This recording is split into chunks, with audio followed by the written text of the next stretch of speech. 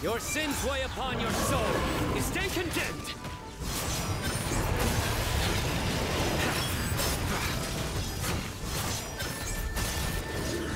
Your penance is due. You stand condemned. Your penance is due.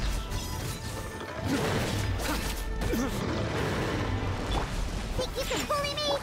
Surrender.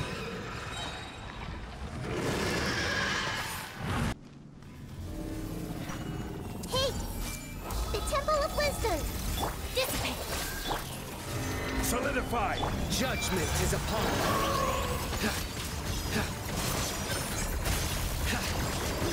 Guilty. Your penance is due. Guilty.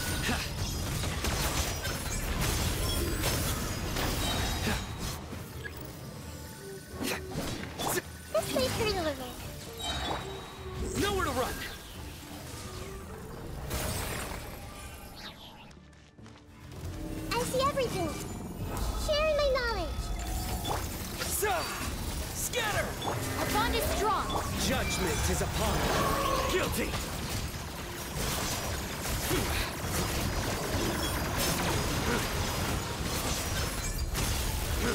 You stand condemned. Guilty.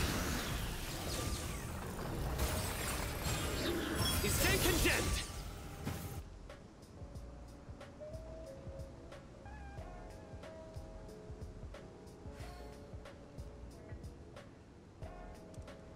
Okay guys, so this is the Cyno without Hydro character, uh, without Hydro element in the team, and what makes the difference without Cyno, like without having the sorry, without having the Hydro character.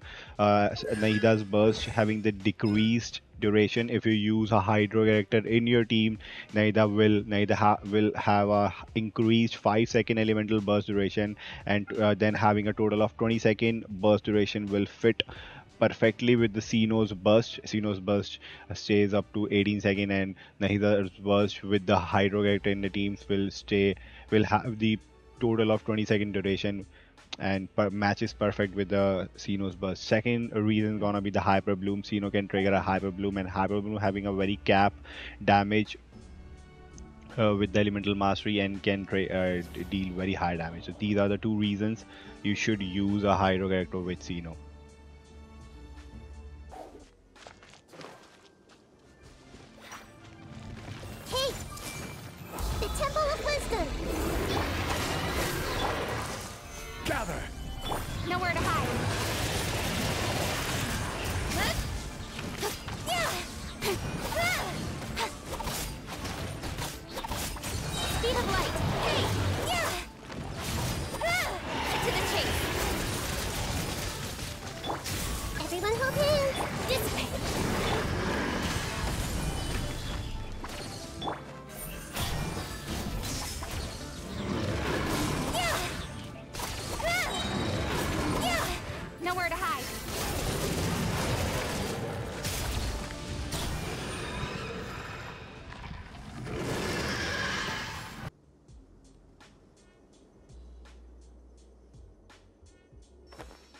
Okay, that's it for the video. I showed you the Cyno without Hydro and also a, a very next character which people keeps comparing with the Cyno is the catching. Catching also catching is pretty much very weak if you uh, if you're not gonna trigger Hyper Bloom damage. So then catching is very very weak without a Hydro character. But Cyno is still usable and pretty pretty strong without a Hydro character. So but catching is very weak.